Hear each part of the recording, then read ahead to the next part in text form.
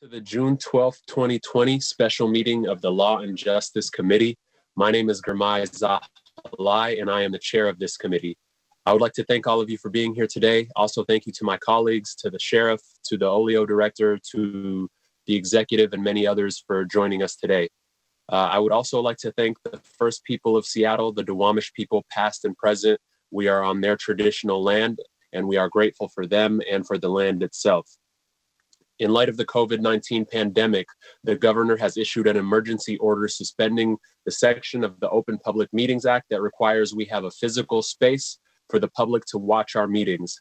Initially, this order restricted the briefing topics and legislation the council could consider in a remote setting to those which were necessary and routine or necessary to respond to the COVID 19 outbreak and current public health emergency. In the most recent extension of this order, the necessary and routine restriction has been removed, thus allowing this special meeting to proceed. The purpose of this meeting today is to help us and the public understand the King County Council's relationship with the King County Sheriff's Office, to hear from communities that have imp- been impacted by law enforcement, to hear their vision for a path forward, and for us as elected officials to plan the bold steps we're willing to take to ensure that Black Lives Matter. We will also hear from our King County executive and what he has planned to address issues of justice. One final housekeeping note before getting started. To help us manage the meeting, I'd like us I'd like to ask the public as well as executive and council staff to please keep your video off until just before you plan to speak.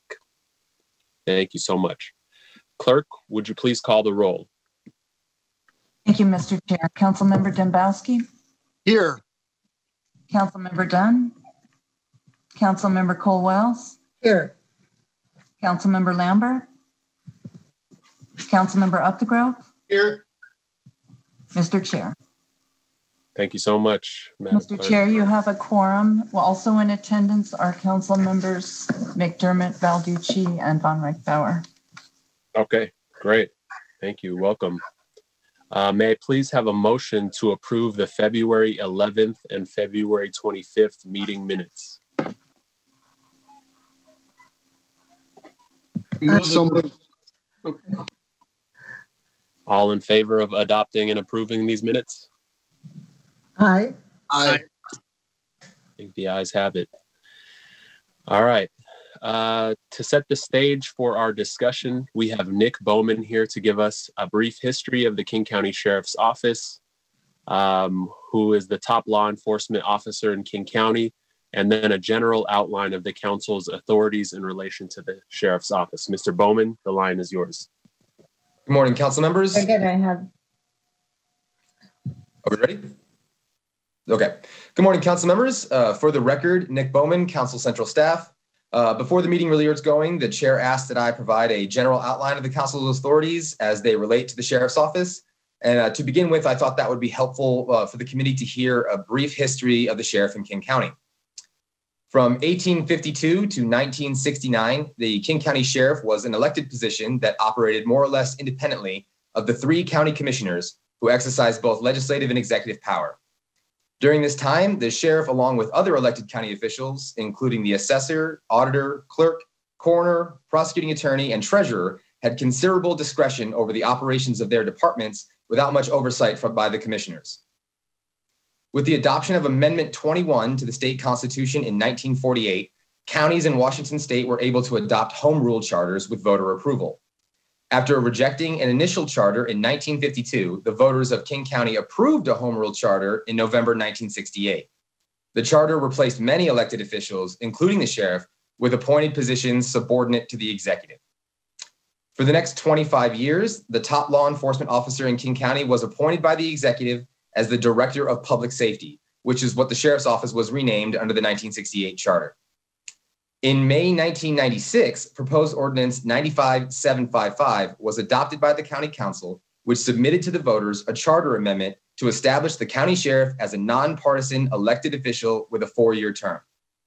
The ordinance maintained the Department of Public Safety as an executive department and also maintained the civil service employment status of the department's employees. In November 1966, the, or sorry, in November 1996, the, the voters of King County approved Charter Amendment Number Two, making the county sheriff a nonpartisan elected official with 57% of the vote yes. In November 1997, Dave Reichert, and a veteran of the King County Police Force, was elected sheriff. Since, since Sheriff Reichert's first term in 1998, there have been a total of five elected county sheriffs.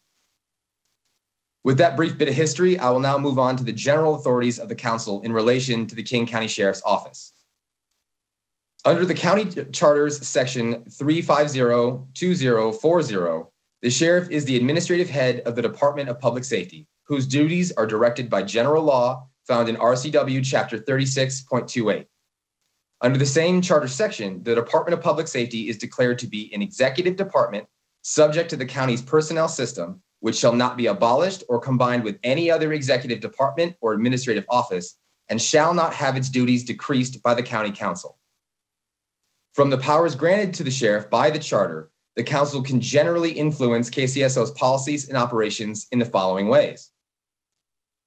First, the council can propose amendments to the county charter relating to the sheriff and the Department of Public Safety, which must be approved by the voters.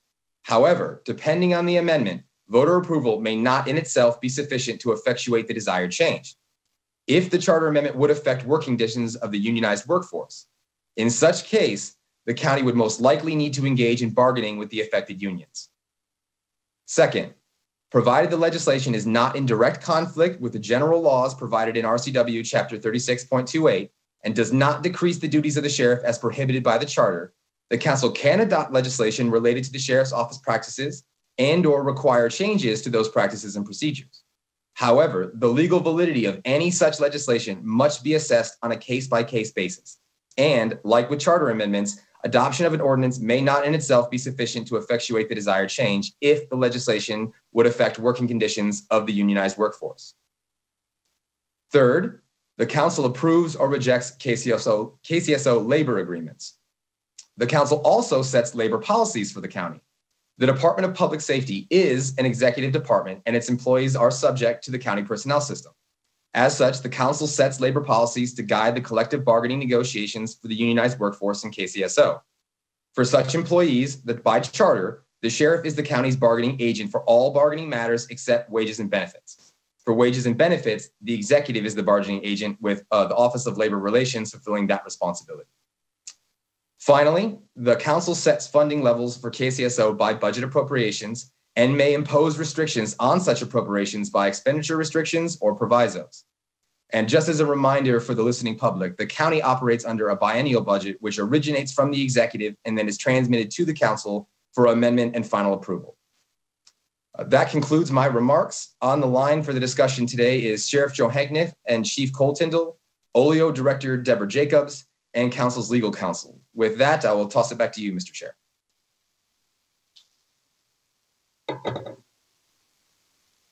Uh, you're still muted.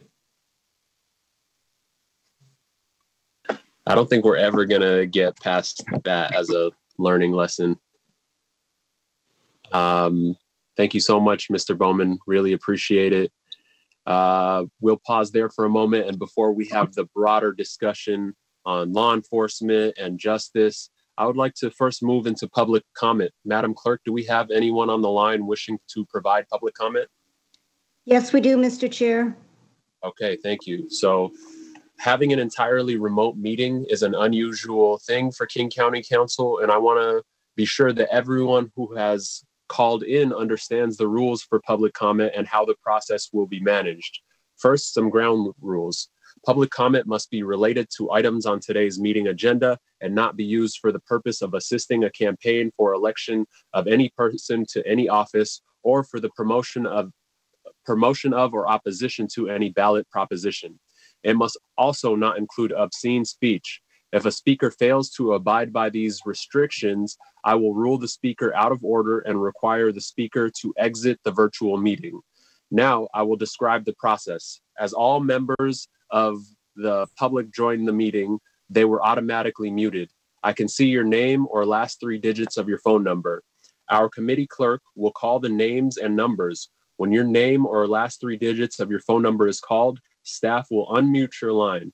Please make sure to also unmute your own phone if you have uh, muted yourself as a courtesy.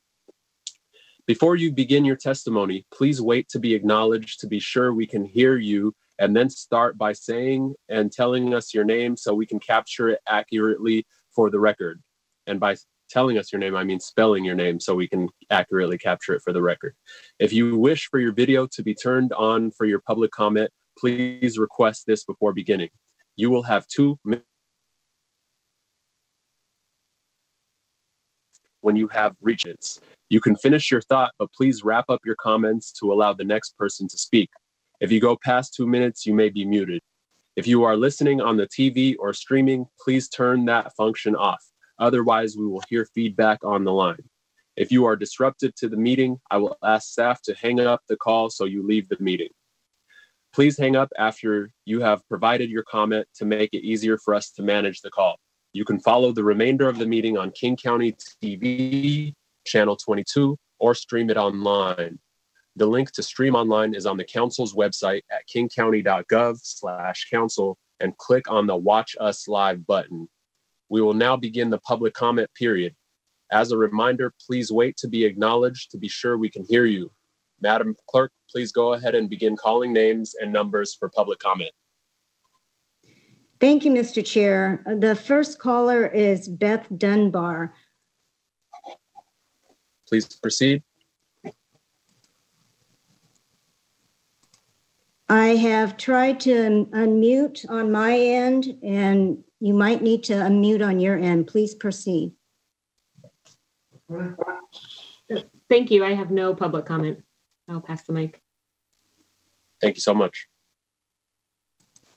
Think next, the next person I have on the list is Brooke Buettner. Please go ahead. You are unmuted. Hello, my name is Brooke Buettner. That's B R O O K B U E T N R. I manage the North Sound Radar, which is response, de escalation, and referral. Radar operates in five North County cities Shoreline, Forest Park, Bothell, Kenmore, and Kirkland, and offers outreach based social services to people who have come in contact with law enforcement. I wanted to make public comment today to offer this model as uh, for consideration because it has been so successful in North King County. Uh, I want to thank the council and specifically Councilmember Dembowski, who has championed this alternative approach, and the King County MIDD Behavioral Health Tax Levy, which funds this program. The police chiefs in all five of the radar cities here in North County have shown a deep commitment over the last few years to meeting people's basic and behavioral health needs and keeping them out of the criminal legal system. Each of these five chiefs has expressed to me that they are now hearing the demands of their community to move toward alternative approaches to meeting people's needs and avoiding police involvement. In early evaluation, the radar model, which sends social workers out to individuals that the police have contacted who have behavioral health needs, the model has shown reduction in use of force, and hundreds of individuals in our communities have been tied into services I'm excited for the opportunities this social movement presents. We in North County are excited to continue to build on the infrastructure supported by King County and by MIDD to continue to move toward meeting people's needs in their community before law enforcement or the criminal legal system becomes necessary. Thank you for your time. Thank you for your comments. The next caller is uh, listed as Collective Justice. Go ahead, you are unmuted. If you do not wish to speak, just Oh, let me know. I'm not, I'm from Collective Justice, but I'm actually speaking um, from, as Davita Briscoe. Oh, As- great, thank you. So you. I'm not sure if that's the same one. It, I think it is. Can you Okay. spell your name, please? It's Davita, D E V I T T A. Last name Briscoe, B R I S C O E. Thank you, go ahead. I am uh, the sister of Che Taylor. My brother was killed by um, two Seattle police officers in um, Seattle on February 16, 2016. Uh, my family and I went through the inquest process, which took over a year. Um, and that experience was deeply dehumanizing um, to my family, to um, just the whole process was, um, it felt like it was one sided, it was unfair, it wasn't transparent. Uh, the community didn't understand the interrogatories. Um, it was just a deeply confusing process. Um, I worked with, I was appointed by Dow Constantine to, I was a part of the committee um, along with Rick, um, John T. Williams' brother, Rick Williams, and a few others. We worked extremely hard to get community engaged, to implement, to work on some reforms that would make it a more transparent and fair process. Uh, that took a considerable amount of time that I was not compensated for that time, but I was deeply engaged in that work because of my personal experience. And I wanted to make this process more fair for other families. And it would just be devastating to the community, to the committee, to a lot of people who have pushed for these reforms. Um, Sonia, who was Giovanni McDade's mother, who boycotted her own inquest hearing because she was not given time from her lawyer to prepare. Um, they were going to proceed without her. And it was, these were some of the, the reasons why we pushed for these reforms. And to go backwards would be devastating. Um, we need to build on what we have already done to repair the trust between the community and the police. And um, the lawsuits by the sheriff Renton, Kent, um, Auburn, and especially Officer My time is up, or Uh, yes, that was the timer. If- Davida, if you wouldn't mind just wrapping up really quickly, that would be great. okay. I just think uh, the officer Jeff Nelson that definitely needs to be addressed. Um, three deadly force incidents within nine years and 65 excessive force complaints is ridiculous. Um, and we have to move forward with building that trust between the community again and getting and, and pushing for the reforms that we have already implemented. Thank you. Thank you for your comments. The next person on the line is Elaine Simons. Please go ahead. You are unmuted.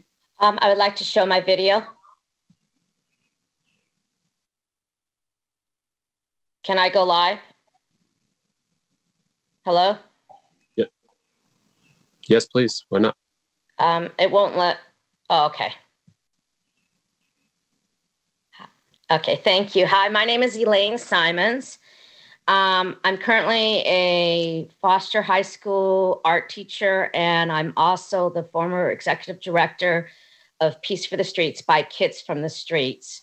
Today, I'm talking on behalf of Jesse Sarey, who was the third person that was executed by Officer Jeff Nelson on May 31st, 2019. Jesse Sarey was my foster son. And um, that fateful morning, when I got the phone call from his brother saying, Elaine, have you been watching the news? And I said, yes. Um, don't tell me it was one of um, our family members. And that's when I learned it was Jesse Sarey who was executed. One of my biggest concerns about what is happening on this case was the fact that a law was passed where mental health responders are supposed to be called when there's a, a parent agitated or someone who seems to be having a mental health breakdown. This did not happen for Jesse. So Jesse was sitting alone eating ice chips in front of an ice uh, machine in Auburn, Washington, when Officer Nelson approached him. What escalated from that to me was a for, uh, was unjustified execution of my son. I believe what happened was could have been preventable. After the first shot, I'm not a medical examiner, but I believe Jesse could have survived. However, Officer Nelson took the gun and did the faithful execution of shooting my foster son in the head. My son was down. He hadn't. He was already not able to fight back. What I am seeing in light of George Floyd's death is that we are bringing to light the unjustified murders of Black, Brown, and Native American bodies in this country. And I am really tired of seeing that these police officers who are, I know police officers, I, I don't, I'm not going to go on that platform, but I have worked with police officers in the donut dialogues. And we have worked very hard in creating, um, okay, I'll wrap it up. Um, Thank you, I Elaine. just want to let you know that Jesse should be the last death of Officer Nelson. Please do not let anyone else be killed by this officer. Thank you. Thank Thank you you, for your comments. The next caller is uh, Joseph Shoji Lachman. Go ahead, please. You're unmuted. Morning, council members. Thank you um, for the opportunity to provide public comment. Um, so again, I'll say my name is uh, Joseph, J-O-S-E-P-H, Shoji, S-H-O-J-I, Lachman, L-A-C-H-M-A-N. And I am the policy analyst for Asian Counseling Referral Service. Um, I'm here today actually to speak um, in strong support of the, um, the county's inquest process and um, to speak to the letter that we recently helped circulate, which now has close to 4,200 um, sign ons from various um, organizations, individuals, including um, close to 70 organizations at this point in the King County area, uh, supporting um, the inquest process and opposing um, lawsuits by um, cities of Seattle, Auburn, Federal Way, Rent, Renton, Kent, and also the sheriff's office that's attempting to dismantle the inquest process. Um, we're highly concerned that this is um, an injustice to Black communities everywhere and other communities that are dealing with police violence. Um, also, as a- an organization that works with the Pacific Islander community, uh, we've seen how um, the actions of officers such as uh, Officer Nelson have impacted our community members, including um, execution and the killing of Isaiah Obet, who's a member of the Pacific Islander community. And um, so our demands really as a, as a coalition are that um, the King County Sheriff's Office, among the others, drop its lawsuit that seeks to destroy the inquest process. And what we'd really like to see is the King County Executive and Sheriff uh, let the inquest jury offer its opinion as to whether officers uh, committed a crime in killings of Charleena Lyles and Isaiah Obet um, in line with the family's um, wishes as they've um, conveyed to us. Um, we want to also, of course, thank the King County Executive's Office for working with various community organizations to strengthen the inquest process. And I'd also like to thank um, Councilmember Kohl-Welles for um, her response to the letter, um, first to respond to it and um, show support um, for upholding the inquest process. Um, and with that, um, I, I'd just like to close uh, by uh, expressing how important it is that uh, County Council and the City Councils and the Sheriff's Office listen to the voices of community with just under uh, 48 hours, you know, collecting over uh, 4,000 signatures. I think it's shown a strong uh, community voice that says that we need to uphold uh, police accountability, especially uh, in these times as we've seen Time. around the country demanding justice. Thank you. Thank Thank you, you. Joseph. Um, The next person is Katrina Johnson. Go ahead, please. You're unmuted. Good morning. Um, my name is Katrina Johnson, K A T R I N A Johnson, J O H N S O N. I am the cousin um, of Charleena Lyles. Um, Charleena Lyles was killed June 18, 2017, and it'll be three years next Thursday for our family, and we still have no answers as to what happened to my cousin. Why did she have to die? And the only way we're going to get those answers is through an inquest process that has been held up. And so I'm asking the King County Sheriff's Office to drop their lawsuit that seeks to destroy the, uh, the King County inquest process. And similarly to um, the King County Sheriff's Department, I'm asking the city of Auburn, Kent, Renton, and Federal Way to drop their lawsuits as well.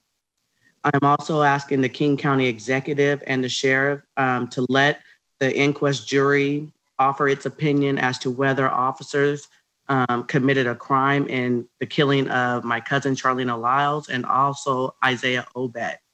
It is time for us to do a paradigm shift, and the only way that is going to happen is for folks to stop upholding systems that are not working for people who have lost their loved ones and begin to do something different. And I need for these these entities who want to continue to um, do the same thing and business as usual to stop. And uh, I want you guys to not allow them to do that so that families can get answers, so that we can have reform, so that we can pave a way so that folks will stop dying and people can start to be held accountable for the things that they are doing. Thank you. Thank you. The next person is listed as Legal Team Zoom. If that is you, please unmute yourself and go ahead. and speak. Um, that's, that's me. Hi, this is Corey Guilmette. Um, I'm going to um, uh, decline public comment. My, I am the attorney for the family of Charleena Lyles, and um, my client Katrina Johnson said anything I would say better than I could say it myself. Thank you very much. The next person is Michaela Wright. Go ahead, you are unmuted. Thank you. Um, I just want to say thank you to the council, um, and I'll go ahead and get started. So my name is Michaela Wright, and I am an MSW intern with the Black Trans Task Force. I also use they, them pronouns. I've experienced houselessness on three separate occasions, and I know I'm not the only non-binary or trans person to experience this or state violence. Housing would help my community by uniting us. For too long, we've been policed and we've been pushed away from our homes. We've been gentrified out. We worry daily about our safety and know that defunding the police by at least 50% and reinvesting in our community would help a lot. Minneapolis has started this process. They occupied a hotel and housed homeless folks. They sheltered protesters from police. They were able to hold community meetings. They fed one another and they cared for their needs. Our communities know how to take care of one another when we're given the resources that we need. In our very own Kent, there is a motel that has been used to house COVID 19 patients. Why can't the council or other um, elected officials donate this motel to us and defund the police and invest in support for trans people of color, specifically Black trans people? We don't deserve to have to worry constantly about our housing and our safety. And yesterday, we found out that two Black trans women, Dominique Remy Fells of Philadelphia, Pennsylvania, and Riah Milton of Liberty Township, Ohio, had been murdered. We mourn their deaths and we want to see an end to the violence that Black trans women experience. State violence and trans misogyny are deadly. Our community needs safety and housing, not over policing. Please support us and invest in us. Thank you for this time. And um, yeah, that's the end of my comment. Thank you, Michaela.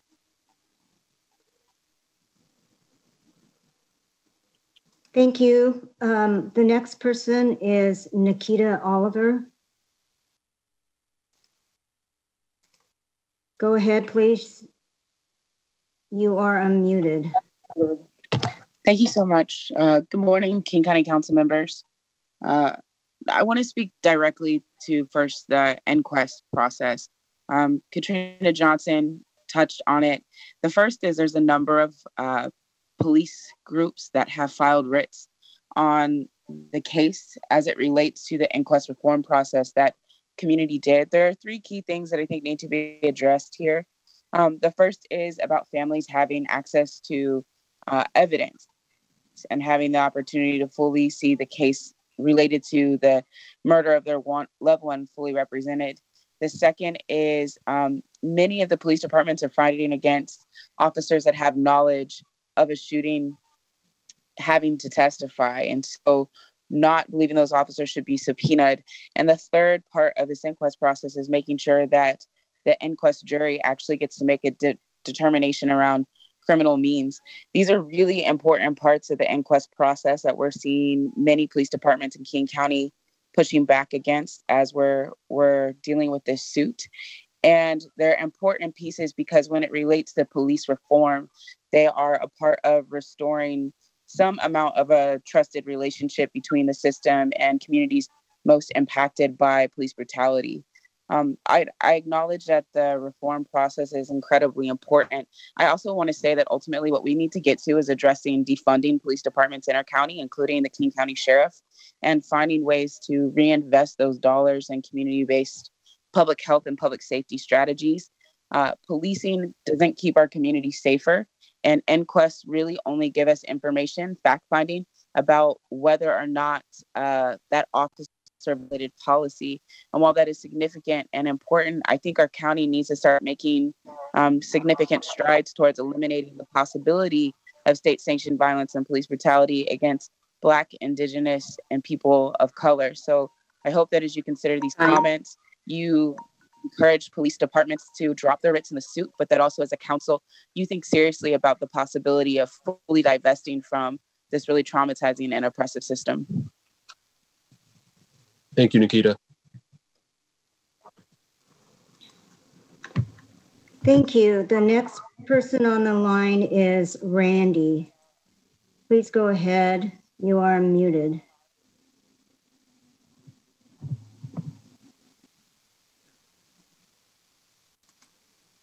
Hello, can everyone hear me? Yes, we can. Can you please state your name and uh, your full name? Perfect. My name is Randy Ford, R A N D Y F O R D. I use she, her, goddess as pronouns. I am a representative from the Washington Black Trans Task Force.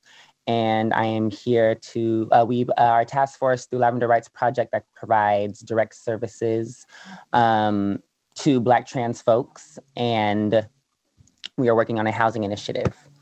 Um, housing is one of the most vital needs all people share. Transgender people face family rejection, lower employment rates, and other risk factors, which all can lead to housing instability and higher rates of homelessness. For transgender people who experience homelessness, shelters present additional problems and often are unsafe environments. During the 2015 United States Transgender Survey, 1,667 Washington State transgender residents identified the following housing related experiences 26% experienced some form of housing discrimination, such as being evicted from their home or denied a home or apartment because of being transgender. 30%, 37% have experienced homelessness at some point in their lives. 13% experienced homelessness in the past year because of being transgender. 33% have avoided staying in a shelter because they feared being mistreated as a transgender person. Transgender people like myself deserve housing. We are asking the King County Council to do the following cut police funding in half. Use those funds to invest in transitional housing and community supports for transgender people of color in King County, specifically Black trans people. Donate the Kent Motel that was purchased for COVID 19 to the Black Trans Task Force and other trans specific groups of color. Thank you for your time. Thank you for Thank your Gladys. comments. The next, the next person is Rosa Mai. Go ahead, you are unmuted.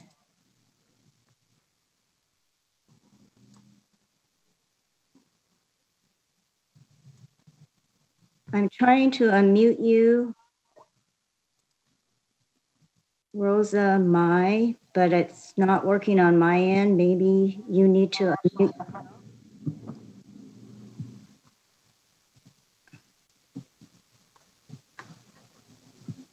I will try, I'll move on and try to come back to Rosa later. The next person is Sean Goode. I'm trying, I'm also trying to unmute Sean, and that's not working on my end. Oh, there you go. Here we go. I'd like the camera, please.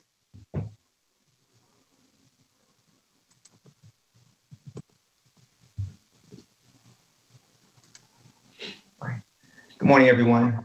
Sean Goode, S E A N G O O D E. I steward Choose 180 as our executive director.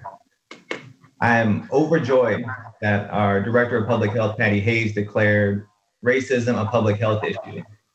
And as Black people in our community are suffering from two consecutive pandemics, both COVID 19 and racism, I believe it's imperative that our county lean in with the same breadth of resources that they use to combat COVID 19 to combat the disease of racism, and intentionally divest from the very things that are perpetuating the spread of the disease, the institutions that lift up and uphold systemic racism. Um, today, we can talk about law enforcement explicitly. I have a long history of partnering intentionally with law enforcement to de escalate tensions in community to support young people who are often marginalized and pushed to the fringes, particularly in South County. Um, I've had great working relationships with law enforcement. And, and the fact that I needed to exist in those spaces in partnership with law enforcement spoke to the divide that existed between community and those that are there to protect and serve the community. When we continue to resource additives to something that is dysfunctional, we're, we're only pouring more money into a house that's, that's desperately falling apart. Um, if you were building, if you had a home and you realized it was caked full of black mold, at a certain point you'd realize that it made more sense to tear the house down and rebuild an alternative than it would to continue to support the house with the black mold. Well, quite frankly, the Black community is suffocating in a house that's been created with Black mold. And we have been dying for years, whether it's been death by homicide, death by assassination, whether it's been death through incarceration and drug addiction. The socioeconomic conditions that have continued to have been policed and not treated have left us in quite the desperate situation. And as a result, I am petitioning the county council to please begin to divest from systemic racism, invest in alternatives, and let us collaboratively tear down this house of racism and build up an alternative. Thank you. Thank you, Sean. Thank you. The next person on the line is Sophia Perez. I'm trying to unmute you. If you'd like to speak, please try to unmute yourself and speak. Or if you could just let us know you would not like to speak.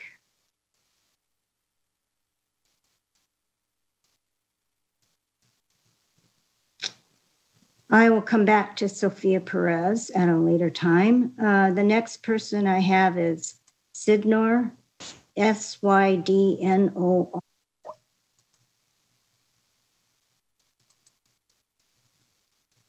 Go ahead, please. You are muted. Hi, thank you. Uh, yes, my name is Sydnor. As you said, S Y D N O R, Fawzi, F is in Frank, A W Z I. Good morning, Council. Thank you for this opportunity. I'm here today as a concerned citizen of King County to respectfully demand that the King County Sheriff's Office make radical changes to their policing in the service of public health and safety, and to ask the Council to support divestment of this system. I would like to speak specifically to the current sections of the General Orders Manual that broadly defines the necessary use of deadly force hinging on a member's belief in an Im- imminent threat to their safety. What we have seen over and over again in cases involving the murder of Black, Brown, and Indigenous people is that this belief need not be backed by facts, but by mere feeling. People should not die because of an officer's feelings. And here's why. I'm a trained psychologist. I've also been socialized in the white racial category. What I've learned in this process of my own recovery from internalized racial superiority is that our social systems and institutions have indoctrinated us into believing that there is reality to the claims of difference among races. This is a lie. I was taught to fear brown and black people. I was taught that black people as a group are inherently dangerous and violent. This is one of the biggest lies. I was taught that as a white liberal, that my intelligence and my deep belief that everyone is valuable would somehow offer me immunity to this unconscious training in racism. Another huge lie. This one I told myself, to myself. These lies are perpetuated not only by our larger social system, but are reinforced by the violent, arrogant, and stubbornly arrogant, ignorant behavior of our current police force. We are taught to look at the surface when we need to be looking deeper. Brown and Black people are not inherently violent or dangerous. That is a distorted expectation forced upon them by our social system. When I read the cases of Tommy Le, a young man carelessly shot in the back holding a pen, or of the boy MiChance Dunlap-Gittens shot in the back of the head during a pathetically executed sting operation, I see officers who were emotionally out of control and who are backed by a system that enables and perpetuates their unrecognized fear and trauma. Often the conversation with these types of cases are around good cops and bad cops. There should be no bad cops with guns in our society, period. You have a duty to protect not only the lives of our citizens who pay your salaries, you have a duty to protect the mental health and integrity of our police force. You must stop enabling immoral and violent behavior in any form. You must take perpetrator trauma seriously, and you must reward ethical and moral behavior, like cops that stop other cops from committing violence against human beings. We cannot escape unconscious bias. We all have it. But when coupled with institutional power and white privilege in this country, it is dangerous and lethal to us all. We, the people, cannot continue to give the power of taking another person's life to a police officer and not also subject that police officer and the system they work in to thorough scrutiny and, more importantly, accountability under the law. This will not continue. With great power must come great accountability. Thank you. Thank you. The next person on the line is Tony Folan. I'm trying to unmute you. There you go. Hello. Go ahead, please. Hi, my name is Tony Foland, and I'm a proud school counselor and volunteer coach at Franklin High School. I'm also a Seattle Public School alum. I'm a supporter of King County youth in various capacities over a decade now, and um, I've supported up uh, in the north end at Nathan Hale and Ingraham High School, as well on the west side and south end areas of King County um, in a nonprofit sector, uh, supporting schools such as West Seattle, Chief Sealth, Garfield, Roosevelt, Lindbergh, Hazen, Highline, and Mount Rainier High School. With those experiences, I can honestly tell you that the students and the communities that feel safer and yield higher academic success are the ones that have the means and resources to intentionally and strategically invest in the communities they directly serve. For us at Franklin High School, we have over 90% students of color and a free and reduced lunch population of 70%, which is grossly inaccurate due to stigmatization. And as a result, our family engagement and our PTSA funding, which typically is used at other schools to help supplement school costs, aren't as high, uh, which means that we operate with less and expected to perform the same.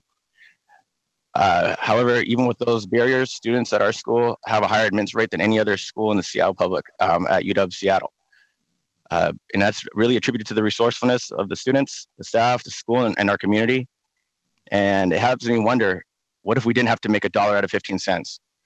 What if we actually got the funding we needed? What could we actually accomplish?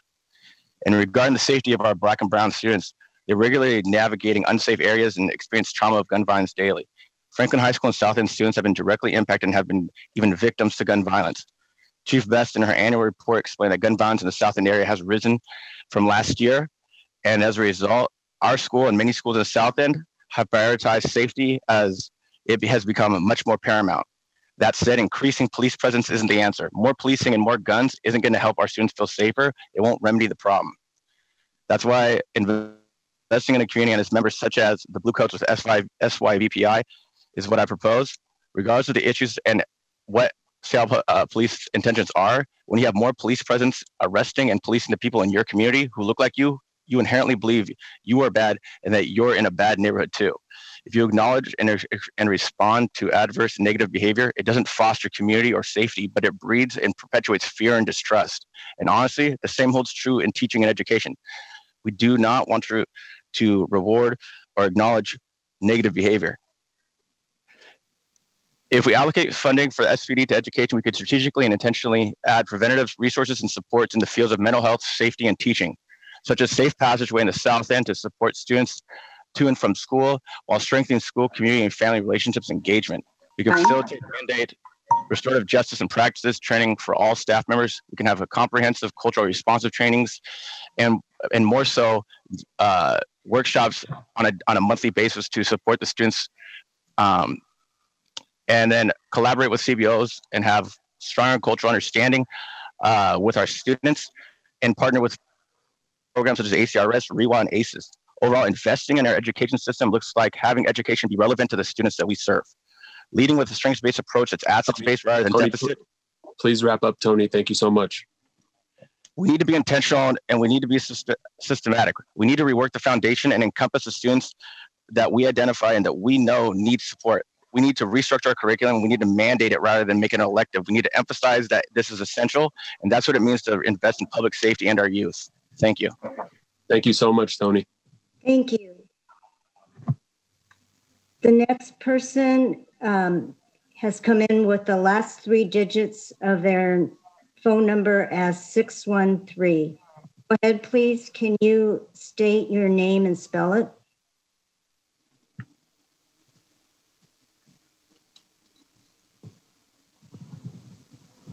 This person has area code 206, and then the last three digits are 613. Go ahead, you are unmuted. Would you like to speak?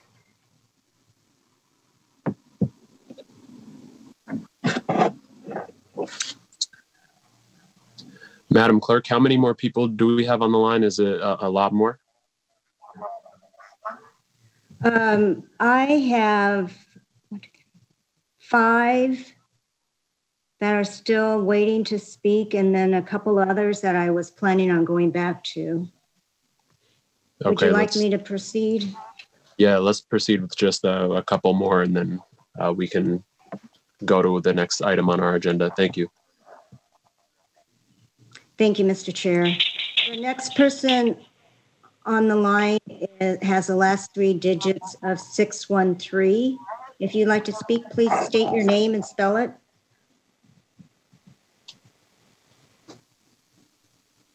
Oh, I already did that one. Sorry.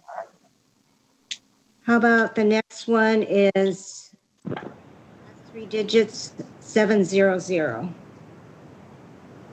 Please go ahead. You are muted. Can you say and spell your name?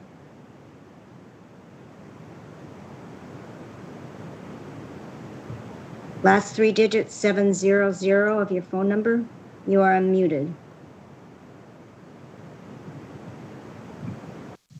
I'll move on. The next person uh, has the last three digits of 885. You now are unmuted. Please. Hi, can you hear me? Yes. Can you state your spell your name, please, and then go ahead? My name is Paulie Giuglianotti. That's G I U G L I A N O T T I. I'm uh, calling on behalf uh, on behalf of Next Steps Washington, founded by Annalesa and Fred Thomas, parents of the late Leonard Thomas. Next Step supports giving OLEO subpoena power and generally expanding OLEO oversight power. We understand the restrictions and how uh, this must be bargained with KCSO. Uh, and so that makes it a long term goal, and I urge you to fight for its inclusion in the CBA. Um, I also urge you to focus on things that can go into effect right away. Specifically, many KCSO policies might be less difficult to change and could be uh, in effect immediately. OLEO has highlighted many of these changes based off of specific cases and people who were lost unnecessarily, like Tommy Le, My Chance Dunlap Gins, and Renee Davis. This includes uh, so please take a look at the policies and procedures of the KCSO, specifically use of force, excessive use of force, chases, both vehicular and pedestrian, carotid and neck restraints, de-escalation training to be on par or greater in length than training on the shooting range, requiring tasers at all time, mental health professionals who are specially trained to respond when a call comes in about someone uh, with a mental health crisis or a psychosis is, is suspected. And the list goes on. And I, what I'm trying to get across is that you should throw out the policy manual and start over. Finally, council members, I urge you to use your political weight to advocate for reforms on the state level in regards to police unions and collective bargaining, which is the most severe, severe hindrance to change. Money is negotiable. Accountability and oversight should not be. Thank you, council members. Have a lovely day. Thank you. Thank you. Uh, Mr. Chair, I've tried to call on everyone on the list at least once. I'm getting And, a message um, from my staff that uh, the number 613 might be wanting to speak again if you want to try them one more time. Okay, six. Hi. Hi, this is Dominic Davis from Community Passageways. Um, I apologize for missing my um, when you were calling me. Uh, I wanted to touch base on uh, the defunding issue and uh, reallocating funds out of SPD into the community. We were able to pull off a uh, major event in South Seattle on Sunday with a whole collaboration, a team of organizations and, and community members. And um, I had a made it clear to SPD that we won't need their presence in this march that we're doing because uh, we're going to secure and protect our own community. And they said, okay, cool. They agreed to and let us do this. And we were very successful at pulling that off in the collaboration of different community based organizations and community members coming together, working together to put together a really tight security system um, of folks um, manning stations and blocking off streets and leading from the front and the back and the sides. And it was really powerful thing to see. And so in that in that um, um, march, there was about 10,000 plus people there. And when all these people came and showed up, one of the things that was amazing that we kept hearing over and over again is how organized and how structured everything was. So nothing happened, no incidents happened, nothing jumped off, everything was safe, everything was well protected. And then at the end of the march, because community got to see community standing up and guarding and protecting and securing community, community came together in a peaceful way. Community was around each other in a very structured, um, orderly way a lot of young people who um, were rival gangs, I guess you could say, reached out to me then next over the next few days and said, "Hey, you know, we want to talk about a truce." So now here we are talking about doing a truce summit, all coming out of the fact that they see community come together and work together in unison to protect its own self. Funding needs to be put into community-based organizations and operations so we can start building our own way of protecting and securing our own community. It shows other people in the community that that we can. It shows everybody we can do that. It shows SPD we can do that. It shows you guys we can do that. And then when we do that, it brings unity and it brings community together when they see us doing it together. Thank you so much, Dominique. Okay. Um, thank you, uh, everyone, for giving public comment. We really appreciate that. Um, and the last person we'll hear from as part of public comment is our King County Executive, Dow Constantine. Executive Constantine, are you on the line? I am. Good morning. Can you hear me? We can hear you. Since uh, you waited till the end, we will afford you a little bit longer than two minutes. Thank you. Uh, whenever you're ready, Mr. Executive, please go ahead. Thank you. Well, uh, greetings and welcome to the statewide day of action. Uh, and thank you for providing me a few minutes to talk about our work. I also want to acknowledge the pain and grief and anger and frustration being felt in this community as we continue to wrestle with institutional racism in the United States of America. And I want to share my commitment to action and accountability and to doing the hard work of listening and reflecting and disrupting business as usual and to showing up the way we all need to for everyone and especially uh, our colleagues, our Black King County government colleagues and their families who are struggling at this moment. And I also want to thank uh, Council Chair Balducci for suggesting, uh, as I was ranting at her, that I share my thoughts with the council and uh, to Chair Zahilay for inviting me to do so here today. I think we share values and we share goals, and I commit to working with uh, all of the leaders on this call to accomplish those goals. Now, first, this week we've focused on stating clearly and with conviction that racism is a public health crisis.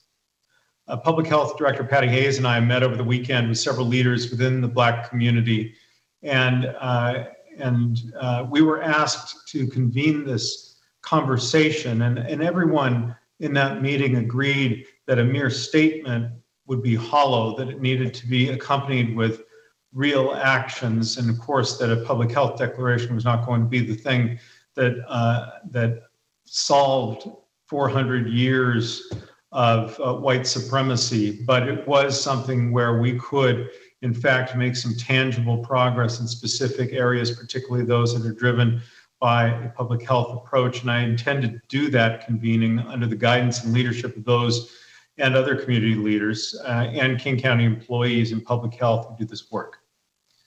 And we must all recognize that historically and right now, King County, like all governments and virtually every institution in our society, has been complicit in maintaining and perpetuating structural racism.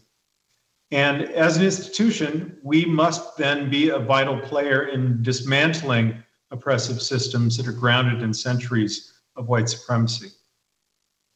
We will share power and resources and work on community defined problems using community driven solutions co created by people most negatively affected by racism.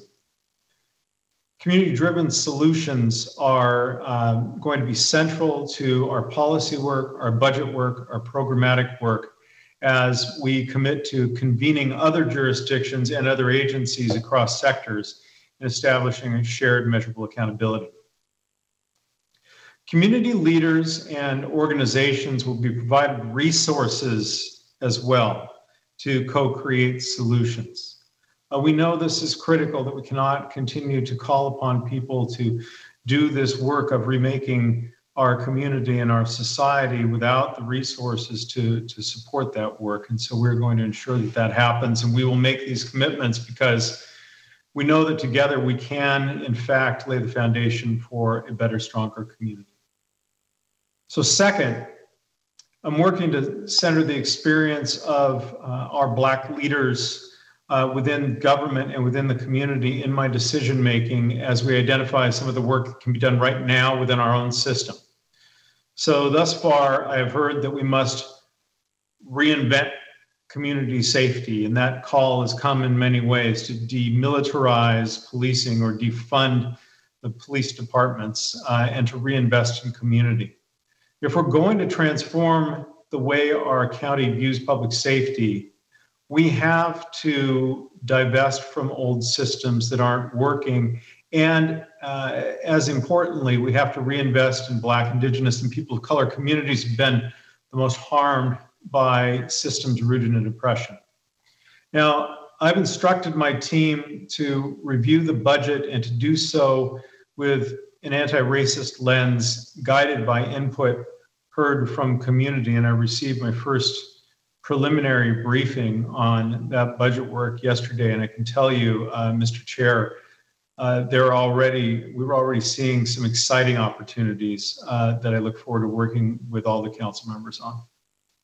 And King County must drive resources to where they're needed, uh, as indicated by those in community. And as we move into recovery from the pandemic, I would remind you that we can't allow the same thing to happen that happened in 2009 when uh, when Black and Brown communities, Black and Brown households were systematically stripped of what wealth they had by the economic forces taking place, and there was not an appropriate safety net provided to help them recover as others were able to successfully recover.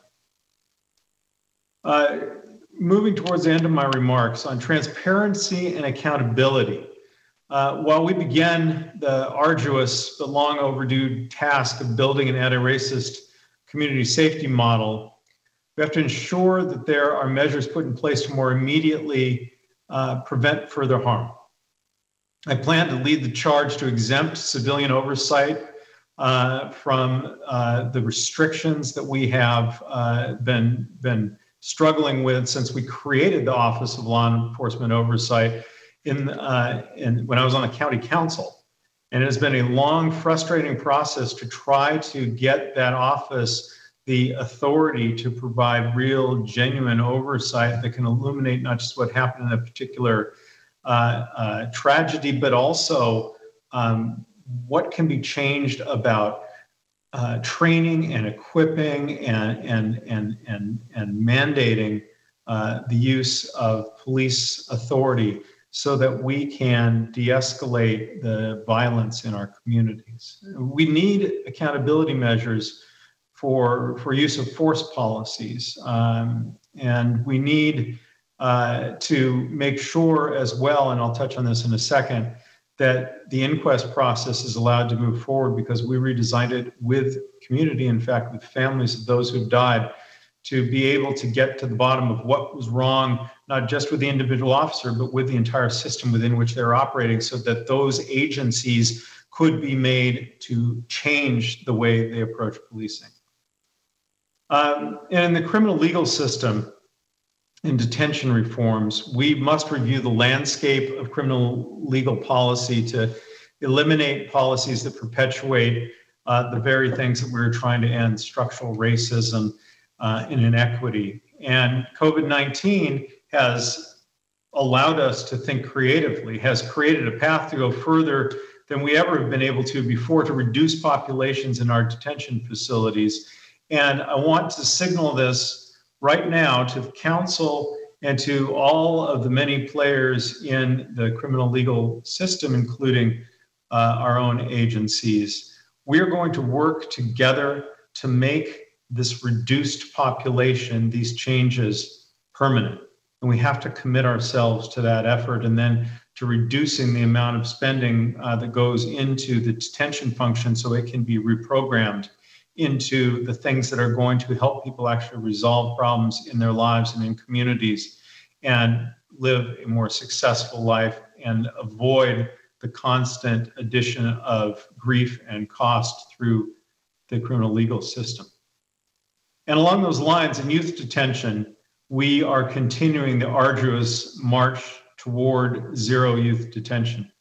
Uh, when I took office, uh, the average daily population was 84 youth in detention. I want to tell you some good news, which is this week we reached what I believe is a new record low of a census of 28. Uh, and we are getting there through a number of different uh, methods, including booking restrictions, including working with the courts and the prosecutor and the defense to figure out how to have more young people who've been charged with a crime at home uh, or on electronic home monitoring rather than detention. And these are not uh, easy changes to make in a system uh, that is uh, as broad and with so many power centers as the one we have. But together, I think we are accomplishing what we set out to accomplish and marching toward that day when we can genuinely uh, claim to have uh, accomplished our goal and arrived at zero youth detention. And we, as I mentioned, need to be able to follow through and hold the inquest that we designed with the community. Uh, it's been more than two years now. And uh, I want to thank everyone who testified today in support of our new community created system. And I particularly want to thank Seattle City Attorney Pete Holmes for dismissing the city's lawsuit that sought to prevent us from moving forward. So, Mr. Chair, in conclusion, it is time for us to reimagine policing and more to the point, reimagine what it looks like to create safe communities and reimagine more broadly the criminal legal system and more broadly than that, all the systems in our society. And these are only samples of the actions that are needed to get us there. I cannot obviously do this work alone because I do not have the authority, nor do I have the knowledge. Uh, it is going to rely not just on each of you, but on uh, on communities themselves who can bring the real experience of this society to bear on solving these problems. And I want to leave you all with a pledge to humbly rededicate myself, and I hope you will do the same to this work the work of building a more just community and the work of making America live up to its ideals and realize its potential. I look forward to your leadership and your partnership as we begin um, some very exciting, uh, transformative work, a once in a lifetime opportunity to dismantle historically racist structures and to create the nation we want. Thank you, Mr. Chair. Thank you so much, Executive Constantine. We appreciate your time. You are welcome to stay on and continue the conversation with us. Um, now that concludes our public comment portion. We have about 53 minutes left, and uh, we will now go back to item four on our agenda. As a reminder, the purpose of this meeting is to help us and the public understand King County Council's relationship and scope of authority with regard to the King County Sheriff's Office, to hear from communities that have been impacted by law enforcement, to hear their vision for a path forward, and for us as elected officials to plan the bold steps we're willing to take to ensure that Black Lives Matter through policy. And so uh, I hope that the public comment portion provided a, a proper framing for all of us. I wanted to make sure that we heard directly from people experiencing harm because it's easy to get lost in this the slogans and and and not actually listen for for understanding.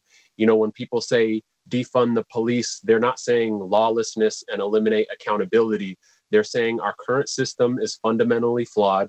Let's rethink public safety altogether in something that's rooted in community-based solutions and economic justice and so hopefully we can talk through some of the ideas that we're willing to pursue on this line. We've heard what our levers are uh, from staff. They are available for questions uh, moving forward as well.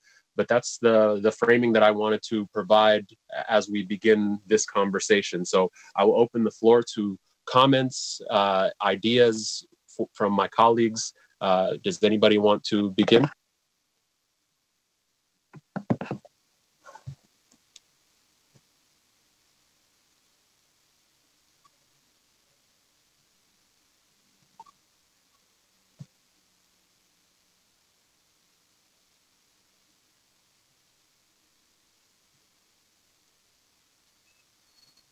Okay, I will uh, go ahead and begin then. One of the things that uh, people have called for is making sure that we have a housing first approach and repurposing certain King County buildings and land to providing housing for people who are not safe in, in our region. You know, we heard from people who are from the Black trans women community who uh, want a safe place to live. When when we provide safe places to live, people can live safer lives, and that's an investment that we need to make.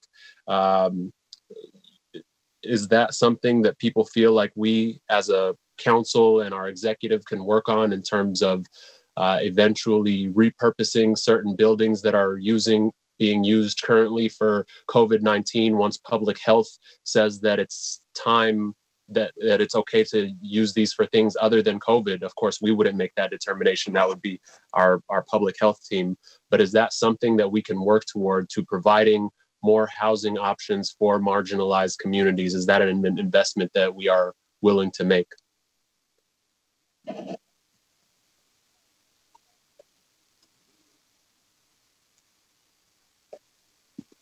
are you looking for kind of discussion and feedback? Yeah, discussion. People's what what what essentially it's what you from what you've heard from your constituents from your communities. Uh, what have you heard, and what are you willing to? What kind of steps are you willing to commit to, and have us as your team uh, work on with you? Oh, where to begin? uh, the uh, if you want me to start just with the, I'll start by responding. The uh, um, I like the idea of making sure we're getting the best use possible out of county facilities. If they're located somewhere other than in, in King County, unincorporated King County, if they're located in a city, then I think that that's a uh, we obviously want to respect their zoning and permitting and and and have them as as partners in in the work we do. I know that's a a, a sensitive issue with our city partners, and uh, I think we have to be cognizant of that. Um, you know, the things I'm hearing probably aren't different than what all of my colleagues are hearing. I've been out. Uh, uh, we had about 2,000 folks gather in Kent yesterday. Um, lifted up a lot of young voices. Um, we've uh, we've had a lot of events, and CTAC will be uh, of a silent march tonight in Normandy Park and there's a lot of energy uh, around the larger values that are being discussed around police accountability, institutional racism, our criminal justice system. And I think one of the biggest messages I'm hearing is it's easy for a lot of us to articulate problem statements. It's easy for us to talk about values. And now we have to figure out what within our power can we change and accomplish and the areas that I'm interested in learning more about in this committee as we move forward, uh, really were around Nick's opening presentation. What authorities do we have as a county council? Um, because it can get very frustrating. There's things that that might be interested in that have some limitations. So, for example, um, the our executive spoke to it the need to have a stronger role for our Office of Law Enforcement Oversight.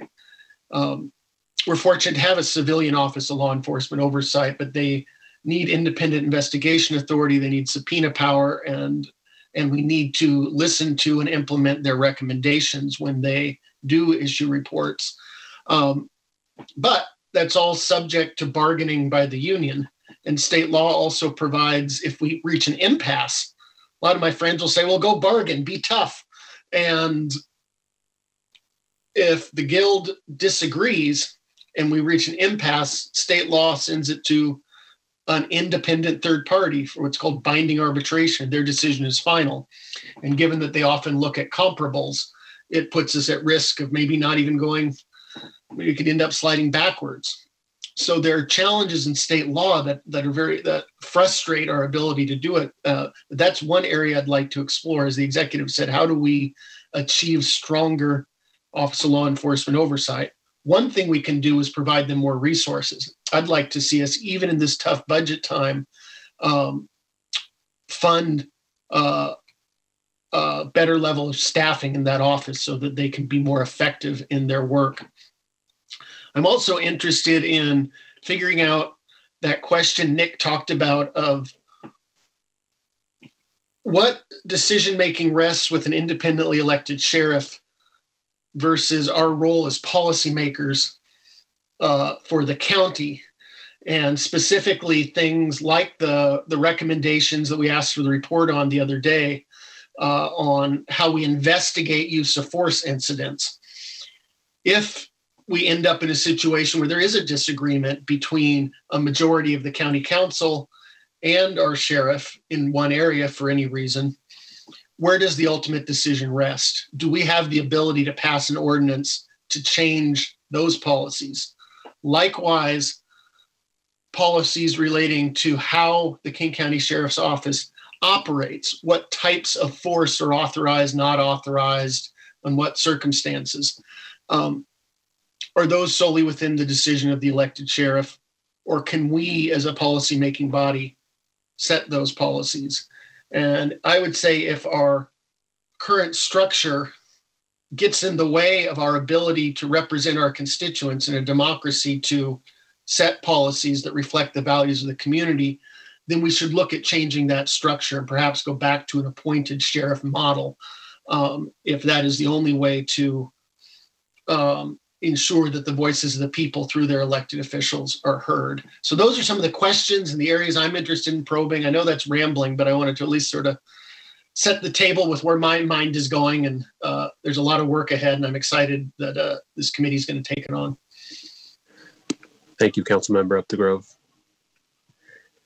Yeah, I, you know, I had a right when um, the movements were starting to uh, rise up in the past few weeks. I put out a pledge, a five point pledge showing that we should demilitarize the police, further restrict use of force, uh, increase accountability and transparency in police union contracts, give subpoena and other investigative powers to oversight boards, and redirect funding toward community based alternatives and that's the one the fifth one that's most people who have been most impacted by our criminal legal systems have been asking for. And you know as a policy king county as it moves forward through an equity and social justice framework it's always about we should be fr- framing our policies based on the people who are most negatively impacted by our systems. And that's the one that people are asking for. You know we had public testimony today from someone who organized a 10 a 10,000 person march. And in that 10,000 person march he specifically asked uh, SPD not to show up because he had relationships with that community and was able to set up safety infrastructures uh, to make sure that people were safe. There were bicyclists out there managing traffic. There were people who do youth programming who have relationships with the youth out there who were trying to make good relationships with them and make sure they had a good experience. People were handing out water and, and food to one another. And in that 10,000 person march in South Seattle, there were no issues. There were no issues. Um, and that's the world that people are asking us to fight for. And so many of these community based alternatives, the people who have relationships, the people who have experience and can promote public safety, they're the ones who are always who always have to go through the most rigorous process for funding. I think Councilmember Balducci mentioned it in, in a uh, a few weeks back on a council hearing that uh, we, we have a very rigorous uh, funding process for human services and community uh, community organizations, and yet certain organizations like our police departments have dedicated funding year in year out in the tens or hundreds of millions um, every single year. That's a broken system.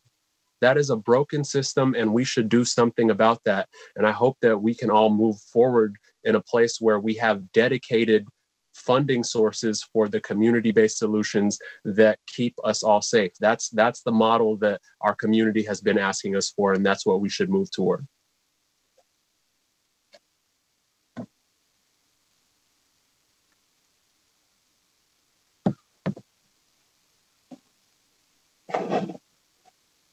Making space for anybody else to hop in. I'll, I'll, I'll, jump in here, Mr. Chair. I don't have a, a lot of uh, outlined or specific thoughts, but I appreciated Councilmember Upthegrove's remarks and, and joining those. And I wanted to thank uh, and extend appreciation to the county executive for joining us today in really almost an unprecedented um, way, at least in my time on the council, I think indicating the importance of the issue uh, in the special meeting that you've convened today. Um, I've I've um, been doing a lot of listening and uh, challenging myself to keep an open mind, kind of like a brainstorming stage. That you know, no bad ideas to start. Bring them all in, and let's really really think about uh, what our opportunities are that that are here. Um, I have had some frustrations, I think, like a lot of you, with some of the details on barriers to implementing some of the things that the voters have called for in terms of Office of Law Enforcement Oversight. And, and I want to convey today that uh, the, that that level of frustration. I really appreciated the public commenter who gave the analogy of the moldy house. and um, when when year after year, now approaching a decade, we get resistance at the bargaining table to just basic civilian oversight. Uh, as a lawyer, I have oversight. Teachers have oversight. Doctors have oversight. Politicians have oversight from independent boards, ethics commissions, public disclosures, and they're effective and they have the tools to do the work. It is getting increasingly difficult to continue to write the check every year into a, a system that is not representative of the community. I really believe that our law enforcement should be of, by, and for the community. Uh, that isn't its roots in America. it was for people that looked like me frankly, its original roots uh, in terms of the research I've done. Um, and some of, I think, the the inequities and the bad practices uh, that that appear sometimes are a result of that. But uh, I want to again thank the county executive. Uh, he he announced in there or indicated in there a pretty a bold move to maybe go statewide and see if we could get some help in terms of um, I would say restoring and recentering um, the people and the public at large into some of these decisions and maybe in with respect to collective bargaining and oversight of law enforcement taking that out. We have chosen as a state by law to put that on the table. Um, and i'm exploring and interested in exploring with all of you ways to achieve that. I just think it's a, a basic premise. Our united states military reports to civilians right? Um, and i think that that should be a principle of perhaps anybody and any organization that's armed and under law can do grave bodily harm. Uh, as you know, I, I, along with a number of you, have introduced the the appointed sheriff charter review commission recommendation, and one of the basic principles there is reporting uh, to civilians and the ability to implement policy from a broader perspective that Councilmember Upthegrove kind of talked about. So I'm interested in that reform. Um, on the scope of authority, I think one slight correction to Nick's very excellent report. We're getting into the details a little bit here. It was right, but the executive bargains, wages, and benefits, but also civilian oversight under the charter. Uh, that is the one working condition that the council and the voters a couple of years ago in the amendment put over into the executive's hands, and and we just have not made enough progress there. Um, I want to note that on the scope of authority, Councilmember Upthegrove talked about our ability and understanding better the contours of where we can uh, implement policy under our current model. But I think we should also bear in mind our police power. To, uh, and, and it's not about police, but police power as lawmakers in the unincorporated area, and whether we can pass laws that make it illegal to engage in certain conduct. You saw in, I think, New York, they outlawed uh, chokeholds uh, and other sorts of uh, life threatening behaviors. And while we don't have police power countywide in our incorporated areas, we do in the unincorporated areas, and perhaps we should look at that. Uh, whether there are certain practices that we don't believe should remain legal as a matter of general law and act there in our capacity if we cannot achieve them through policy in the police department.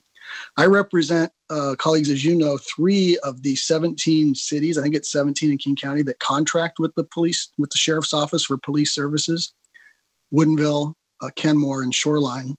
And I repeatedly hear very positive reports back.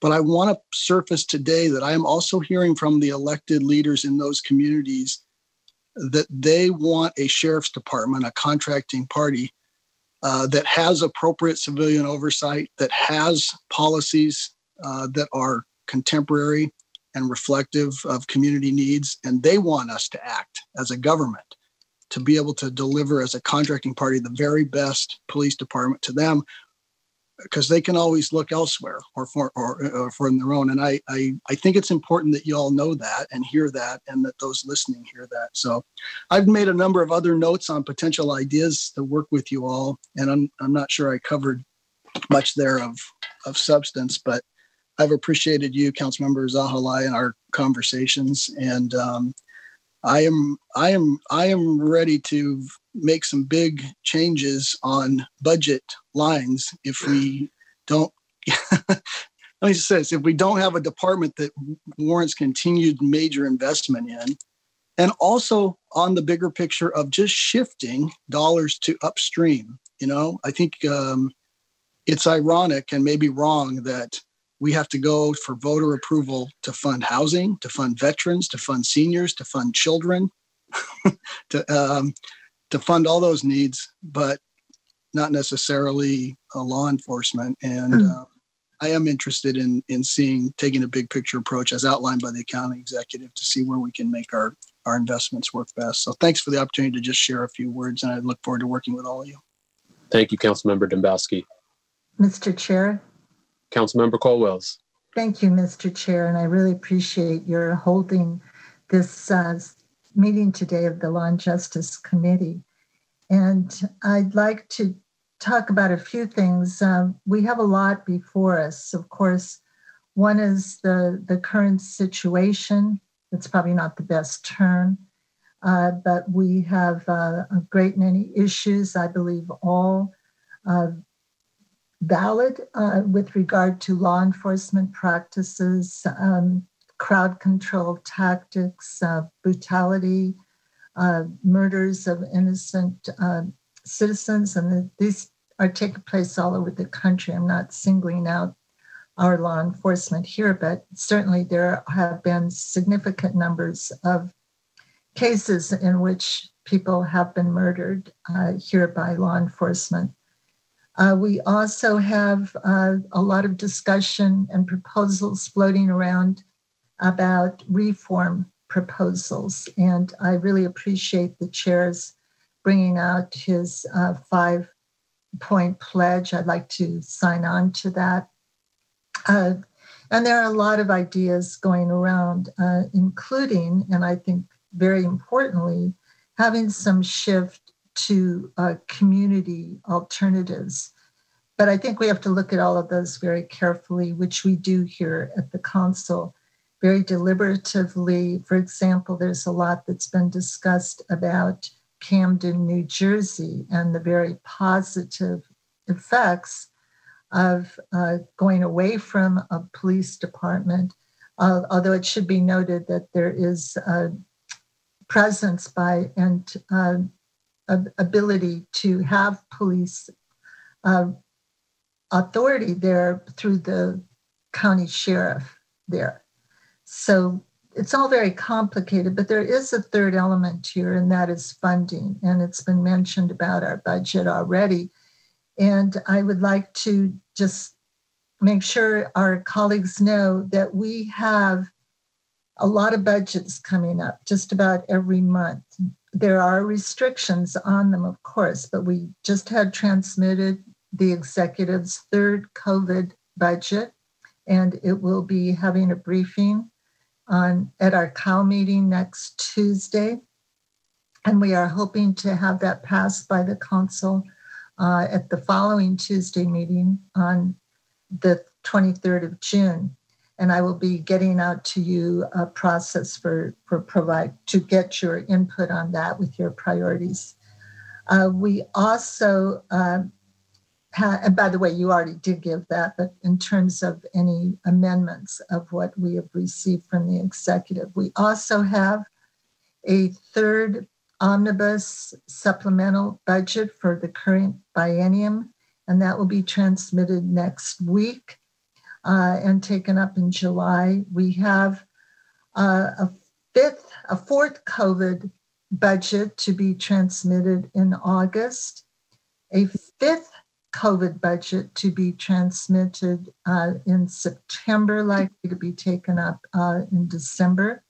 We also have our biennial budget for 2020 and 2021, which will be transmitted late September, and we will work on uh, in the fall and uh, pass that later in November. So we have a lot of lot going on here, but we have a lot of opportunities as well. So I think that um, we take that into consideration as we look to have uh, reforms made as well as additions or changes to the budget. But we also have to remind ourselves we have a pandemic going on.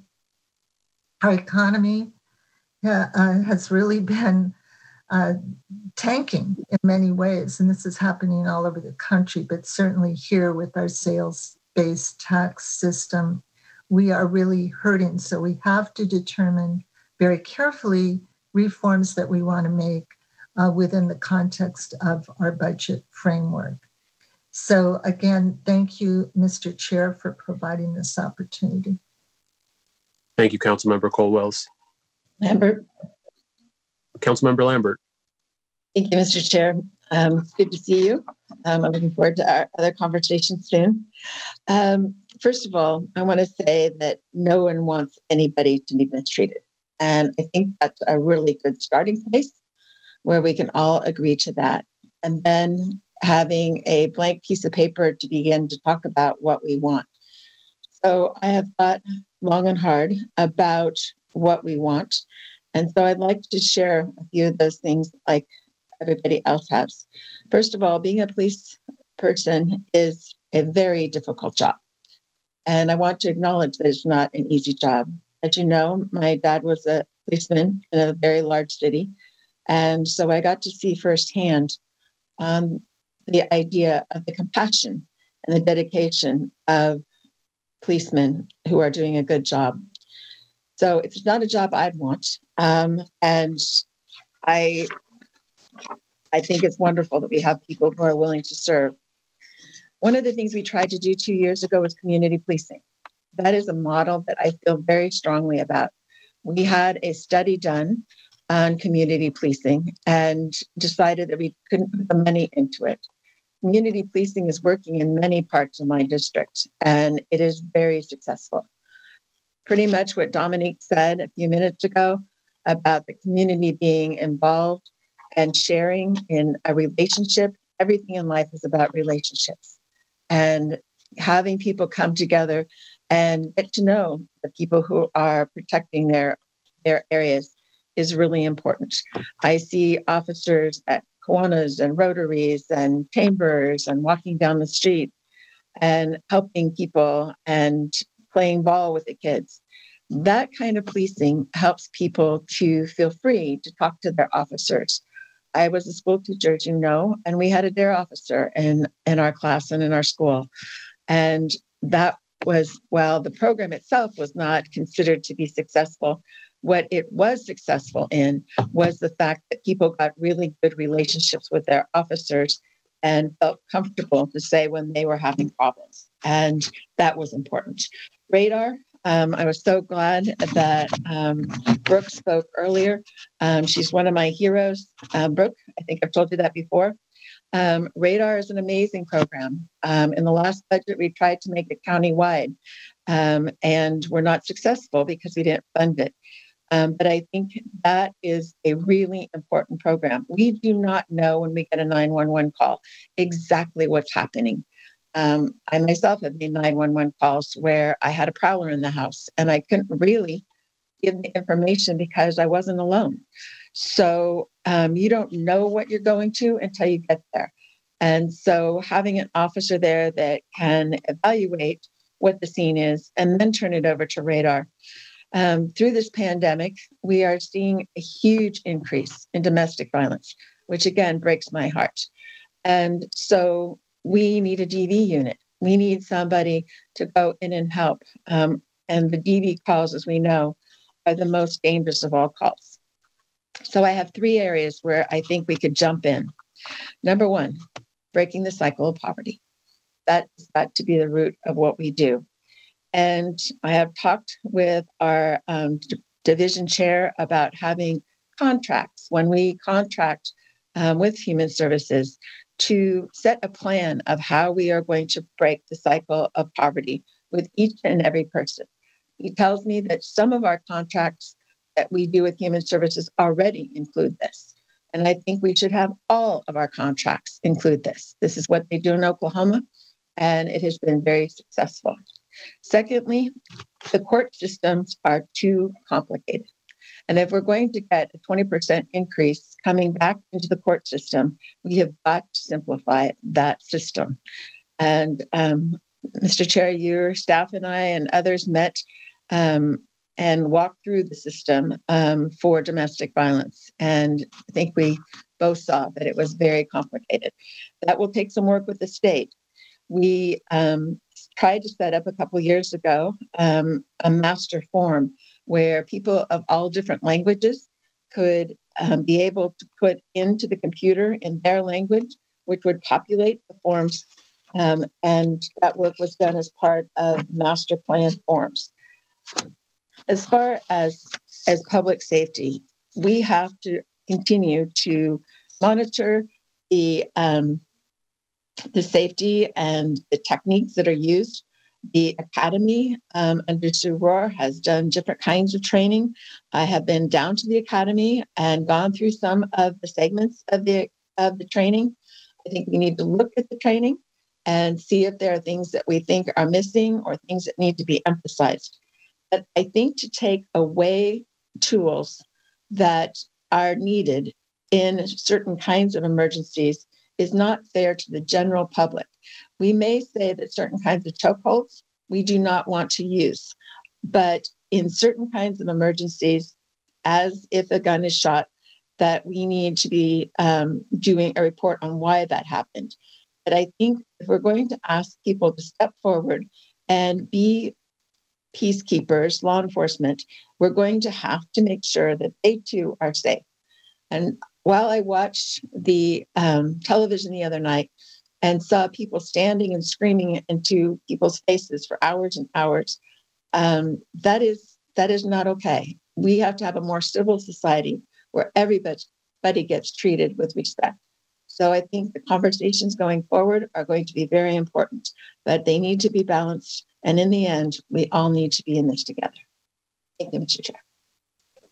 Thank you, Councilmember uh, Lambert. Balducci. Councilmember Balducci. Uh, thank you, Mr. Chair, and thanks for uh, having us who are not on the committee here today and giving us an opportunity to speak. I don't want to take up too much time because I, I want to honor the committee's ability to work. but I wanted to say a few things if that's okay. Um, uh, first of all, thank you for your leadership in uh, bringing forward the motion we adopted. Was it just yesterday? Two days ago. uh, and the testimony and, and, organizing this meeting, this special meeting. Uh, I want to just say the testimony that we heard today was really important. Um, I really want to acknowledge and honor the families who relive their trauma every time they talk about these issues, but they do it to advocate for a better future. I know that we all here have been listening and watching and reading a lot. Um, uh, some of us, you particularly, Mr. Chair, have been out uh, advocating. I've been listening a lot. Um, I've been trying to take in what people are saying in a different way uh, because I think the protesters are talking to us, to me, to leaders uh, who have the uh, the responsibility to do everything in our power to make the changes that are being that are necessary. Um, I think it's important. We've been talking a lot about police uh, and law enforcement. I think it's important to make sure that we acknowledge that racial injustice and disproportionate experiences right here in King County span the gamut of experiences, not just involvement in the criminal justice system at every step along the way, but literally from birth to death. If you look at the public health studies and statistics that we've seen in King County, infant mortality, birth weight, education, employment, housing, transportation, wealth, health, life expectancy, every single step along the way, we see stark racial disproportionality and worse experiences for our Black residents, Indigenous residents, and other people of color as well. Um, and when people say that this is systemic, just listening to us here at King County Council and the executive to talk about the changes we want to make and the systems that need to be navigated to make that change, I think is the absolute proof that the system protects itself and resists change. Public accountability for law enforcement is stymied by state law and contracts that we've negotiated over the years. Uh, we heard that providing housing for the most marginalized people in our communities is you know subject to zoning and permitting. Those are systems that were set up and they are not uh, they are not neutral systems. Funding and where funding has historically gone the fact that we have had to at king county and, and i'm proud of this bend over backwards to create dedicated funding sources for human services for health for mental health. It's good that we've done that but there's a system in place that forces us to have to do that while our most flexible routine money that we collect goes disproportionately to law enforcement. Um, and these and the funding that we have for those sort of community services are all subject to something called non-supplantation policy. It's a big word, which means that we can only use new funds for new things. So the services that we provide get squeezed. Our tax system uh, really binds our hands, and it's regressive it puts the most burden on people of color and poor people, and it leads to further austerity in the areas where we want to invest the most. So I just wanted to say those things because I think that we need to own. Uh, we only sit in a part of the system, but we can't stay there. We have to work to advocate for things to happen in the entire system, so that the uh, so that all of our levels of government can be more supportive um, and do do more of the right things. Uh, you asked some questions, Mr. Chair. I want to answer them. You asked, should we repurpose prop- county property to community needs? My answer to that is yes. I think we absolutely should. Whether those are properties we own now or others, I support that. We do, and just saying yes isn't enough. We do have to work with our communities and, and make a plan and work with the jurisdictions that they sit in, but we should do that. We should do that. Um, you asked uh, if we should defund the police. I truthfully, I feel a little awkward talking about defunding the police because I think that the people who are advocating for it may mean something different than what I am hearing when I hear defund the police. I want to suggest that we engage in a process similar to what the Seattle Council has proposed. They're calling it an inquest, where they're going to do a very deep dive into where the money goes in law enforcement and what it's for, and then ask whether there should be changes. I think we should do the same. Um, you asked uh, by virtue of mentioning your five point plan, which I think is a really really neat um, thought process. Should we demilitarize the police? Yes, I believe we should do that. Um, we have a one of the good traditions in our country is not having military in the streets routinely acting against civilians, and we shouldn't end run that, if you will, by substituting a militarized local law enforcement to do that.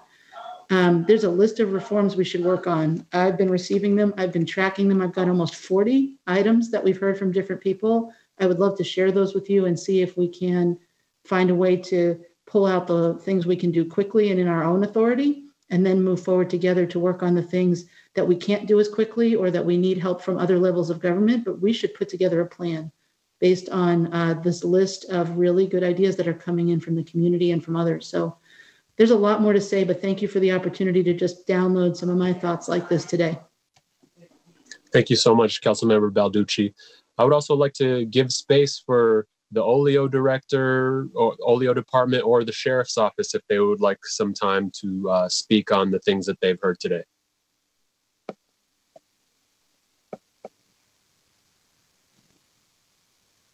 Go ahead. Okay. Good afternoon, Council. I'm uh, glad to speak for a few moments if you have the time, Mr. Chair. Absolutely, Sheriff. Thank you for being here. Yeah, thank you. And I just want to thank everybody that's uh, been on this Zoom uh, hearing today and and the time that everybody's taken to do it. I've been uh, listening to the entire conversation today. Been doing a lot of listening lately, and I want to make sure that everyone here and as much as possible um, knows that um, I'm hearing, I'm listening, I'm paying attention, been working cooperatively with uh, just as recently as yesterday with the King County Police Officers Guild and talking about uh, some uh, agreements that we have. Uh, many of you might have heard about it, but out of the Black Lives Matter movement, uh, eight can't wait. And our policy is very close to meeting each and every one of those eight items. And, uh, but I do want to acknowledge to everybody here today that I myself and the members of my organization um, are appalled by what happened in Minneapolis and remain appalled when members of law enforcement take actions that are illegal and, and commit crimes. And we will continue to call out um, those folks when those occur. I apologize to the, the communities and families of color who have had to go through this in their lifetime. And as you may know, recently had that opportunity in person or via Zoom to talk to um, Mr. Gittens and Miss Dunlap and express uh, my apology to them, the loss of their son. Having said that, there are things that we are constantly doing in the sheriff's office as it relates to policy and improving policy and making sure that our policy is in alignment with federal, state, and local law. Um, the the eight can't wait pieces that I'm talking about are things we do not um, allow uh, what is a chokehold or in uh, parlance of use as use of force tool called a lateral neck restraint. This is not allowed in our use of force policy. It will not continue not to be allowed as long as I'm sheriff in our use of force policy. And we're tweaking our policy a bit with the help of uh, King County Police, or I'm sorry, with the uh, King County Police Officers Guild to define it even more clearly in policy that it is a, a use of deadly force if applied, much like any other. Um, I, I, think yesterday we were talking about this in King County Police Chiefs, and we talked about, um, uh, you know, whether it's whatever tool you use in that moment in application, I consider that use of deadly force, and it would be investigated as such. So, um, anyway, I wanted to share that piece with you. I got an opportunity last night to talk to the county executive um, for the first time in a, in a while. And there are places that we, we see eye to eye in our ability to come together and discuss um, opportunities and opportunities with you all as well. As you know, there have been some things that we have done in regards to training that we have moved ahead of where we are in the rest of the state and some of the trainings we've used, but this is not, uh, I, I, don't want to take a lot of time and appear tone deaf to the messages that are being sent to me today by community. And so I'll end my comments with we believe in oversight. Uh, we believe in that process. We have just put forward facing on our internet page dashboards on the last six years of our use of force. Uh, I sent an email to to all the council members uh, and the executive yesterday, as well as advertised it to the community. So we are the second agency in the state of Washington, one of the few across the country that are, are doing this. And so I look forward to working with you uh, individually, in committee meetings, with our staff work, as well as the county executive, and finding ways um, where we, we can uh, work more closely together uh, as it relates to law enforcement of the sh- that the sheriff's office provides. The final thing I'd like to say, I'm really glad that my conversation with the executive yesterday, I, I used the term that was my goal when I ran for reelection was reimagining policing. So I'm glad that and appreciate that he was able to co-opt that to help form and share kind of where we both are with this. So thank you for your time today, Mr. Chair. Return the floor back to you, sir. Thank you so much, Sheriff Johanknecht. Um, does anyone from uh, the Office of Law Enforcement Oversight want to uh, share any thoughts in, for a few minutes? Yes, hello, thank you. For those who don't know me, I'm Deborah Jacobs, Director of the Office of Law Enforcement Oversight. I would like to briefly thank the people who spoke on the call today, particularly the community members who expressed their experiences and what they've learned from them and what we can use to uh, make a paradigm shift. And also, so many thanks to King County Executive Dow Constantine and all the council members who have been thinking and listening and um, and open to taking risks to make the change that is so obvious we are all yearning for. Um, I think a really, I'm grateful for this and future meetings that I know will be addressing this issue. I think a really critical piece of our next uh, stage of conversation would be a community and stakeholder dialogue on independent investigations and what that might look like for the King County Sheriff's Office. I'm developing some options that the council might want to delve into and hear public opinion on and think about as we move into the next phase of our development. As we all know, it needs to be bargained, and I my I just can't tell you how I'm great how grateful I am to Executive Constantine for taking on the commitment of leading the charge to work on exempting oversight from the collective bargaining process. Although that's only just the first step of what needs to be done because there are accountability issues blocked by collective bargaining that don't have to do with oversight as well when I think about a par- paradigm shift, I'm happy that the sheriff's office is thinking about it and getting more transparency, getting some information up on their website um, at this time. But I can't help but note what when there's a meeting about use of force policies with the Police Officers Guild, but not with OLEO. That's the kind of paradigm shift we really need as well. And um, I think all policy uh, conversations that um, could have outcomes that affect people's health and safety are things that the oversight office should be among the first at the table on. So I'll note that as well. Thank you. Thank you so much, Director Jacobs. Appreciate your time. Do any other council members have any comments, anything they want to share before we sure. wrap up? Councilmember McDermott. Councilmember McDermott. Thank you. And thank you, Mr. Chair, as others have said, for um, your work in convening um, this meeting and um, this open conversation about the issues that are facing our local community and our country.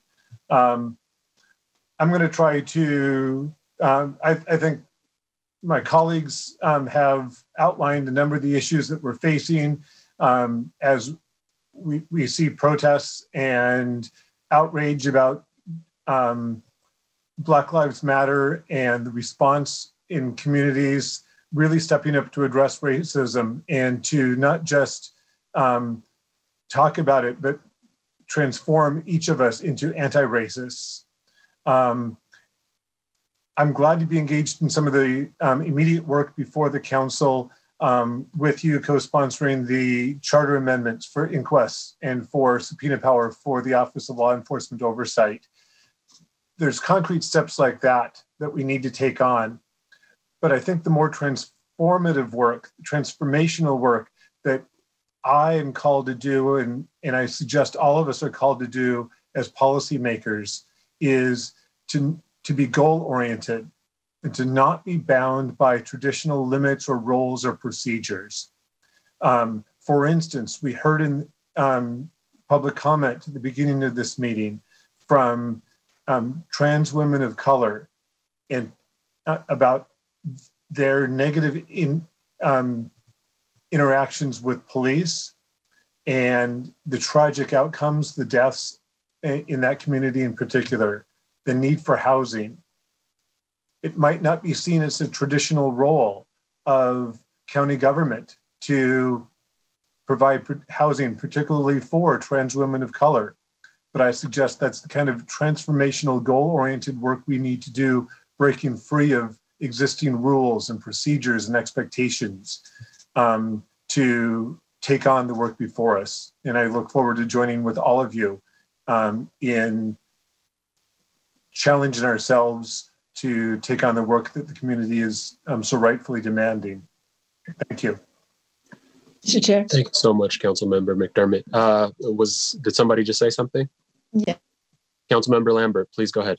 Just for the record, I wanted to say that I, I too approve the minutes of the two meetings um, that um, were before us before I got on, on the line, um, February 20, 11th and 25th. Absolutely. Um, Madam Clerk, can we make sure we reflect that? Certainly, Mr. Chair. Thank, Thank you. you. so much. Uh, thank you, Councilmember McDermott. That was just a great framing for us to wrap things up on. All around our country in the past few weeks, and of course, decades and centuries, we have seen Black organizers build a movement on the scale of which we haven't seen in a long time. We've seen locally and nationally protests of tens of thousands of people rising up and demanding justice. And it's our job as elected officials to translate that energy, this unprecedented energy, into bold action, as bold as we can. What we're hearing from uh, people is not that they want more oversight, they want a new system of public safety. And so, if there was ever a time to get bold and to do things that we've never done before it's it's right now and i hope that we will do that i've been taking notes as each of you have been talking and i'm so grateful for the concrete policy proposals that you have all been saying. Uh, this has not been a conversation of just stating values but you have all actually put forward uh, some pretty great and powerful things and our team will go ahead and start proposing ordinances and working with you collaboratively to do things that we've never done before. Primarily I heard about uh, an inquest process so we can actually look critically at our budget, primarily our King County Sheriff's Office, to see how we can repurpose our funds to create this new system of public safety rooted in community alternatives and economic justice, uh, transferring land to people who have been harmed and making sure that they're able to keep their own communities safe. I've heard uh, you all talking about demilitarizing and we'll, we'll, take an account of the military equipment that's out there and making sure that we're working to get rid of it. I've heard you all talk about uh, creating alternatives to policing, uh, mental health crisis responders, social workers, youth mentors, and program managers. These are all things that we need to invest in so that we have communities keeping communities safe.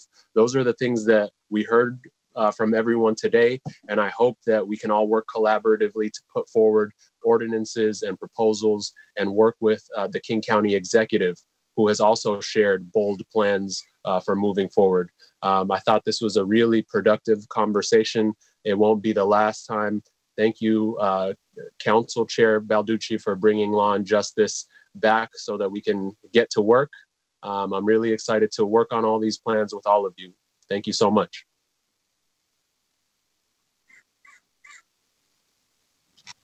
Thank you. And with nothing, with no other items on the agenda, our Law and Justice Committee is now over. Thank you so much. Thank you.